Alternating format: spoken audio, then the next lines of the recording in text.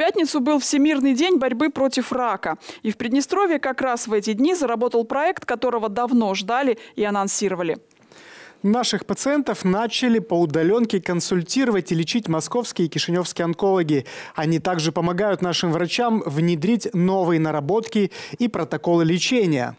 Онлайн-консилиумы помогают пациентам из Рыбницы и Каменки лечиться дома. Даже в Тирасполь на консультацию теперь ехать не нужно, а тем более в Москву.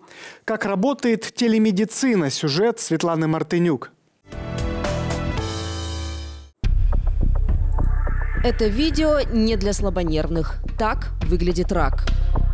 Вот это вот все, это вот все по кругу, такая неизмененная, это все вот. Это все рак.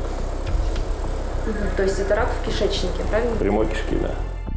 В этот понедельник в кабинете эндоскопии Центра Медин был поставлен антирекорд. У троих из четверых пришедших на обследование нашли онкозаболевания. Врачи заметили, в последнее время все чаще рак выявляют у переболевших ковидом. Большое количество пациентов, пациентов в возрасте попадает на лечение в ковид-госпиталя. Как мы все знаем, это необходимо. Пациентам в таких случаях назначают э, кроверазжижающие э, препараты. Это очень часто приводит к тому, что опухоль кишечника, если она есть у пациента, да, э, начинает кровить. То есть это в какой-то степени, можно сказать, помогает проявить эту опухоль. Крошечная камера с фонариком на конце гибкой трубки. Это гастроскоп. Его вводят в желудок через пищевод. По желанию процедуру делают под наркозом. И вот доктор изучает внутренний мир пациента. Картинка на экране. Можно вот на моей ладони? Конечно. Вот изоб... что, что сейчас? Э... Изображение у нас максимально ага, детальное. Да. Э, позволяет выявлять полипы размером от 1 миллиметра. На гастроскопию направляют при тошноте и болях в животе. Такое исследование раз в пять лет показано всем, кому больше 40. Ну или если у кого-то из родных был рак.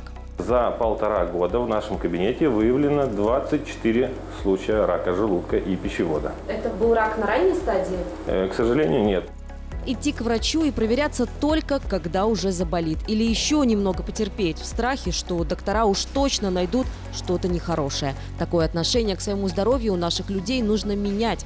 С этого года в Приднестровье будут проводить бесплатные онкоскрининги. Это обязательный медосмотр с одной целью – найти рак как можно раньше. Первый скрининг – это экспресс-тест на скрытую кровь. Он как раз и выявляет риск рака желудка и кишечника.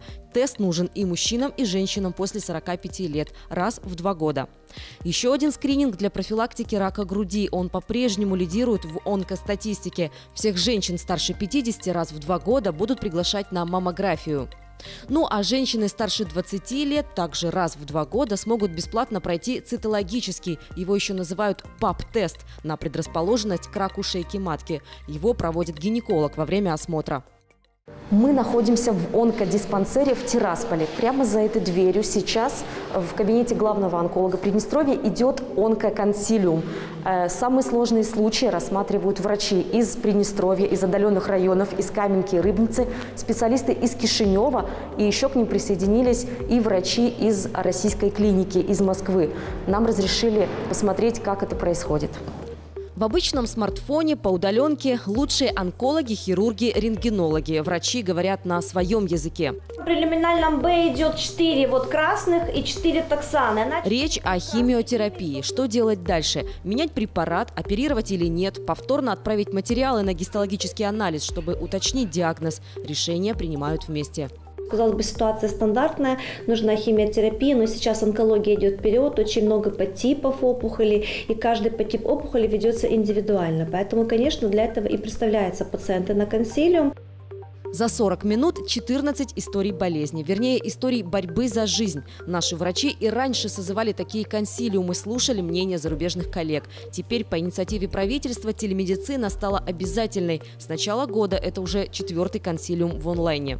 Недавно обсуждали лечение пациентки со сложной гистологической а, опухолью, то есть там была первично сомнительная опухоль, либо это опухоль яичника, либо это мезотелиома брюшины, то есть это был неоднозначный гистологический диагноз. Подобрали ей наиболее оптимальный режим лечения, пациентка начала проходить химиотерапию и сейчас планируется в ближайшее время контрольное обследование.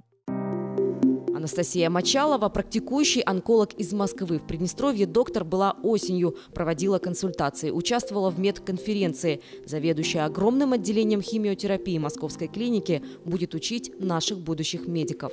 Я являюсь сотрудником кафедры хирургии и онкологии Приднестровского университета. Сейчас мы пока согласовываем план лекционных мероприятий, и я думаю, что более эффективно будет именно погружение этих молодых докторов непосредственно в онкологические консилиумы и параллельно прослушивание лекционных курсов. После курсов химиотерапии при полном регрессе стоит оперировать или нет? Что вот у нас тут дебаты. конечно. Только что завершился онлайн-консилиум с онкологами, и сейчас на связи еще специалист из Каменки. Это э, онколог Каменского района, правильно? Лембас понимаю? Александр Николаевич. Я правильно понимаю, что ваши пациенты теперь не приезжают в Тирасполь или вот э, э, куда-то к другим врачам, они могут, будучи на месте, получить консультацию э, из России, из Молдовы, всех специалистов? Совершенно верно. Прежде всего, врач имеет возможность представить больных на консилиум и совместно, в результате совместного обсуждения вырабатывается единое мнение, э, единая тактика лечения, что облегчает э, ситуацию прежде всего для врача на местах. Российские врачи отмечают, диагностика и лечение рака в Приднестровье на должном уровне. Если необходимую процедуру нельзя сделать здесь, пациента приглашают в Москву. А вот МРТ можно сделать в Приднестровье. В медицинском центре Медин проводят до 30 обследований в день, в год 5 тысяч. И каждый день обнаруживают рак, часто уже на третьей-четвертой стадии. При исследовании этого отдела позвоночника выявлены множественные метастазы. Вот они выглядят такие гипоинтенсивные, то есть темные участки с тотальным поражением первого поясничного позвонка. Он был до обследования, он выявлен рак предстательной железы с метастазами позвоночника. Лечить рак можно и нужно на любой стадии, говорят врачи. А еще лучше регулярно обследоваться. Для женщин золотой стандарт – это маммография каждые два года после 40. В Медине ее проводят на цифровом 3D-маммографе. Каждый день что-то находится, либо подозрительные микрокальцинаты, либо сами образования. Аппарат может найти образование размером с горошинку, его не увидишь на УЗИ, а опухоль нередко бывает злокачественная. Рентгенолог цитирует типичный диалог с пациенткой в этом кабинете. Она говорит, ну я нашла, нащупала уплотнение. А, Я говорю, ну вы куда кому-то обращались? Нет, я боялась. А вдруг что-то найдут? В октябре прошлого года к нам приезжали российские онкологи. Мы снимали об этом сюжет. Тогда озвучивали цифры. В Приднестровье диагноз рак был у 11 700 человек. Эти цифры постоянно меняются и не в лучшую сторону. Сегодня раком больны уже 12 с лишним тысяч приднестровцев. Десятки из этих случаев можно было предотвратить, если вовремя обратиться за помощью. Светлана Мартынюк, Михаил Нестеровский, Андрей Овчинников. Отражение.